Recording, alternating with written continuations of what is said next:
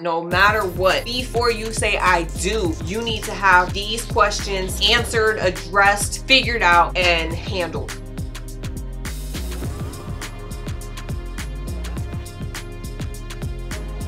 Hey girl, hey, how's it going? How you doing? So you guys are getting ready to get married and everything is going beautifully. You're getting all your stuff done. You're checking everything on your list. You hopefully bought my book, The Engaged Woman's Prayer Book, because yeah, I said it. I wrote a book on prayers. You better cop it. Click on that link. Question number one. Do you want kids in the future. I don't understand how so many people choose to get married and never have this conversation. First comes love, then comes marriage, then comes... Eh.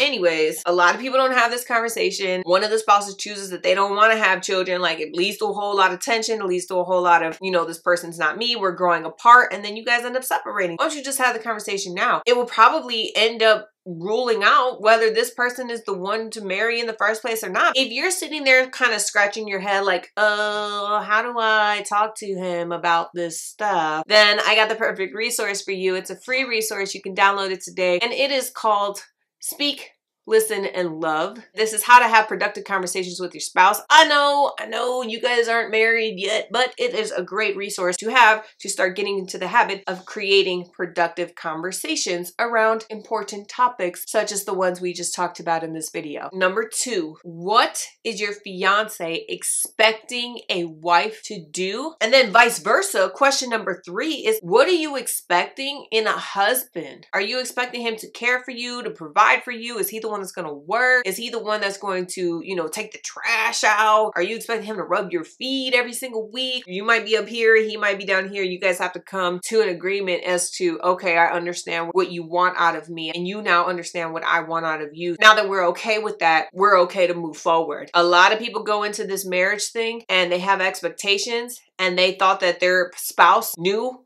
what those expectations were and they are sorely disappointed and it leads to a lot of tension and it leads to a lot of arguments because they thought they were marrying somebody who was going to become something that they never signed up for. Question number four, how will God and your faith play into your marriage and in your future. Two Christians can have two very different perspectives of what it's like to live like Christ. Some people, they need it, it's there. Christ is the center of their marriage. And some Christians are like, I don't have to go to church every Sunday. I don't need to do that. When we have kids, they'll just, they'll be like me. They'll just figure this out. It's their choice. The last question I honestly think you should have before you guys decide to get married is what are your financial goals? If you about to marry someone and you don't know that they got bad credit, then it is no secret that finances and money is one of the number one reasons why people get divorced. If you guys are truly serious and you guys truly want to grow old together and live together for a very long time, then have the money talk now. See where you're at. See where you want to be. See what you guys would agree to tackle together through your money goals, your money problems, your current situation. Those are my top five questions that I think that you guys should be addressing before you guys decide to get married. What are some questions that you feel absolutely need to be addressed before you guys get married? Go ahead and comment below or go to the blog selinaalmodovar.com and answer over there. Thanks so much for watching. I hope you tune in next time. Please be sure sure to subscribe to this channel. That way you get all of the updates, all of the videos,